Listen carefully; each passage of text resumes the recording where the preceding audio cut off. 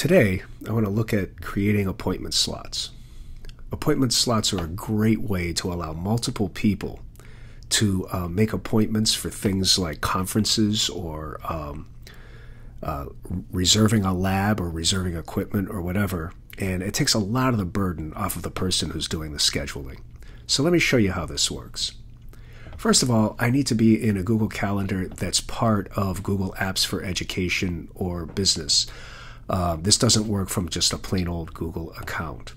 Second, I don't can't do this from month view. I need to be like in week view or day view to do this. I'm going to do this from week view. And now uh, I'm just going to schedule an appointment as or schedule an event as I normally do. I'll just click on a area where I want it to start on the day where I want it to start.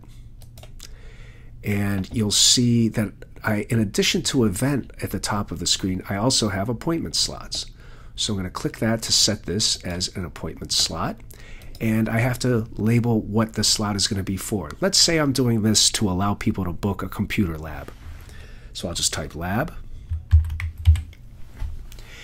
And at this point, I still need to do a little bit more. I'm going to click on the edit details. And here I can really control how this is going to work. Okay, let's work from the top down.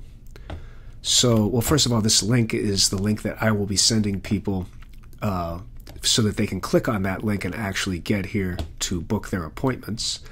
Now I'm going to go here and I'm going to set the time frame. So this is starting at 9 a.m. and I want it to go till, let's say, about 3 p.m. So, you know, I'll fill out the whole school day. And I will allow this to go. Actually, let me take this back. I'm going to do this more for like 1:45 p.m. We don't want to make the day any longer than we need to. Let me make this 45. And I'm going to make this these slots 45 minute slots. So this will enable people to book the lab for 45 minute intervals if they want to. Next, I'm just going to click the repeat button. Now, what this enables me to do is create this event so that I can fill out the entire school year with it. Here's how I'm going to do this I'm going to have this repeat every weekday from Monday to Friday. And uh, I wanted to end at a specific time, I could set this date on to you know be the end of the school year, or maybe the end of this marking period, or however you want to look at it. I'm just going to leave this to what it's defaulting to right here, which is just December 6th. It doesn't really matter. You'll see how it works one way or the other. And now I'm going to click Done. At this point, I'm in pretty good shape. I've got my link, and uh, I can hit my Save button and you'll see that these slots are allotted throughout my calendar and I can scroll through and they're going through.